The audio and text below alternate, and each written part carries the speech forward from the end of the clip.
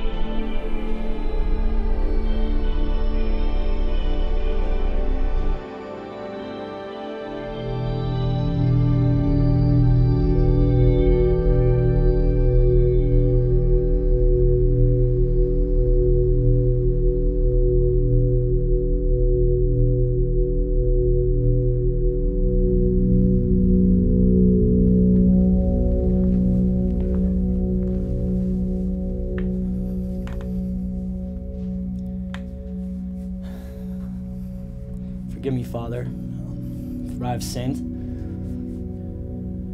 It's been about 10 years since my last confession. May God, the Father of all mercies, help you make a good confession. I stopped coming to church when I was 12. And the reason for this is because I suffered a trauma I was a young boy here. And it was by a priest here. This was in 2002. Father McKinley, actually. Do you know him? Because if you do, I want you to tell him that I hate him and that I hope he dies. See, I remember all this shit. I don't want to, but I do. I live with this in my head every day. Every fucking day. And I don't think it's fair that he gets to go off and do whatever it is that he does and and I just don't think that that's fair, okay? So I just wanted to come here today to tell you that I'm fucked. I'm fucked. I'm fucked for life. It's your fault. God, the Father of mercies, through the death and resurrection of his Son, has reconciled the world to himself and sent the Holy Spirit among us for the forgiveness of sins.